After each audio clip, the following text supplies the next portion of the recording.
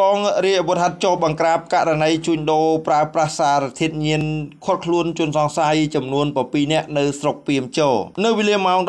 11:00នាទីថ្ងៃទី29ខែកក្កដាឆ្នាំ2022នេះដោយមានប័ណ្ណបញ្ជាពីលោកឧត្តមសេនីយ៍ត្រីឈួនកំសានមេបញ្ជាការកងរាជអាវុធហត្ថខេត្តនិងមានការសម្របសម្រួលពីឯកឧត្តមគុជកំឡុងព្រះរាជអាជ្ញាអមស្លាដំបងខេត្តព្រៃវែងកម្លាំងជំនាញកងរាជអាវុធហត្ថខេត្តនិងកម្លាំងមូលដ្ឋានកងរាជអាវុធហត្ថស្រុកពីមជោដឹកនាំដោយលោកវរៈស្នេហ៍ទូផាត់សុជូតប្រធានមន្ត្រីស្រាវជ្រាវនិងបង្ក្រាបបទល្មើសចុះអនុវត្តវិធានការបង្ក្រាបបទល្មើសគ្រឿងញៀននៅចំណុចមុខវត្តកោះចេកស្ថិតក្នុងភូមិស្ពានឃុំកោះចេកស្រុកពីមជោខេត្តព្រៃវែងខកខ្លួនជនសង្ស័យចំនួន7នាក់មួយឈ្មោះផាដុលភេទប្រុសអាយុ37ឆ្នាំមុខរបរកសិកររស់នៅភូមិស្ពានឃុំកោះចេកស្រុកពីមជោខេត្តព្រៃវែងពីរឈ្មោះផិនសារ៉េតភេទប្រុសអាយុ27ឆ្នាំមុខរបរនេសាទរស់នៅភូមិសម្បូរឃុំសម្បូរស្រុកពីមជរខេត្តព្រៃវែង3ឈ្មោះនិនសារ៉េតភេទប្រុសអាយុ24ឆ្នាំមុខរបរកសិកររស់នៅភូមិស្ពានឃុំកោះជែក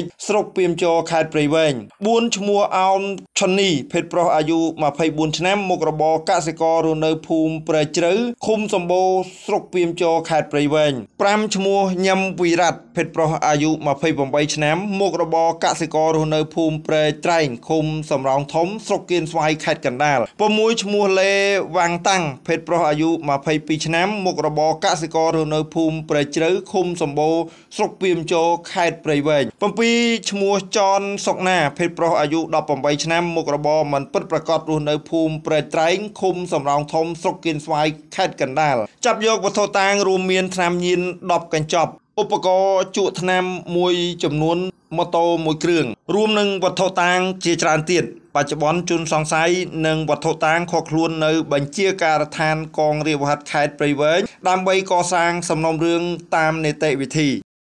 ទឹកលម៉ាសូដាគឺជាទឹកសូដាដែលមានលីលម៉ាដំបូងគេដែលមិនធ្លាប់មានពីមុនមកជាទឹកលម៉ាស្រស់ដែលមានជាតិបាហៃ